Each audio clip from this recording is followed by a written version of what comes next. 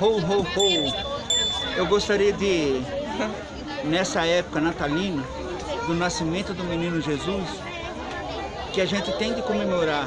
E comemorar não só hoje, nesse dia 25 que vai chegar, mas sim o ano inteiro, que ele nasça do nosso coração e que ele permaneça na, nas bondades, na paz, no amor, no querer o amor ao próximo. E nós sabemos estender a mão nas horas que mais necessitam de nós. Que esse menino Jesus sempre brilhe no nosso coração. Um Feliz Natal a todos. Ho, ho, ho! Obrigado.